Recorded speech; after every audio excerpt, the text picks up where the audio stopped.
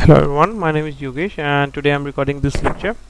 In today's lecture, uh, what I will be covering is uh, I'm, I will cover the like how to connect an SFTP using a private key using ASP.NET uh, sorry .NET Console application.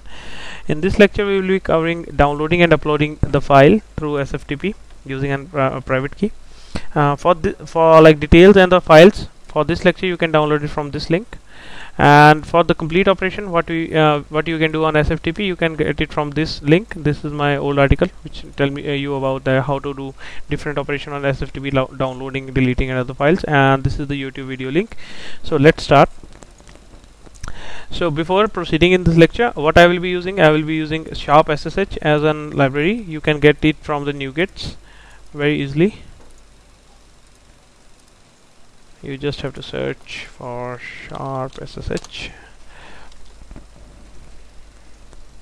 and you can install in your project. After that what you have to do is you have to integrate this namespace. And this is the simple code. What we are having is we are uh, sorry uh, I have a file slash key. I have uh, I have a, uh, this private key which is RSA private key for connecting the SFTP in my code what I'm doing is I'm I have just provided the path of this uh, file. Also I'm what I'm doing is I'm creating an SFTP object which is of namespace tamir.sharpssh.sftp and what you have to basically I'm passing three parameter. One is uh, two parameter basically one is hostname and second one is username. And for the password we will be using the file. For that you need to call this add identity file method which is under SFTP class and you have to pass the file path. After than that you have to connect. What we are doing here is we are first getting the list of all the files from uh, the SFTP then what we are doing is we are uploading a file there. After then we are downloading the same file.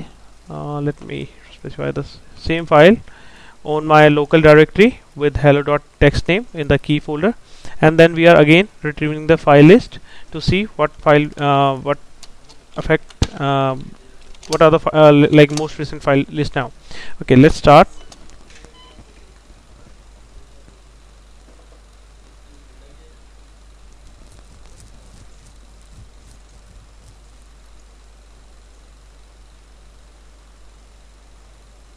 Okay.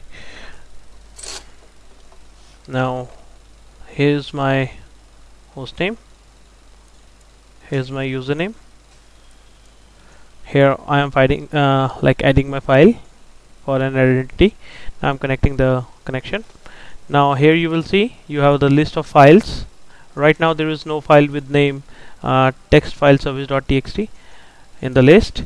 After than that I'm just uploading this file from my local drive to SFTP this is uh, from path and this is to path. Now we have uploaded. Now I am just getting the list again. And you will see we have this file on the SFTP now. And now I'm just downloading the file to my key directory with hello.txt name. Right now there is no file with such name. And here we have the hello text file here or whatever we can do. And now we are closing the connection. So uh, it is very simple. Now uh, if you have any question you can connect me through my gmail. My gmail id is yogesh.mehla at gmail.com my skype id is in conspiracy also you can contact me through my mobile.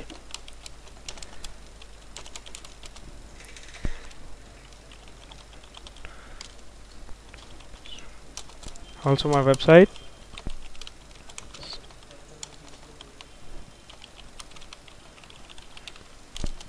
Have a good day.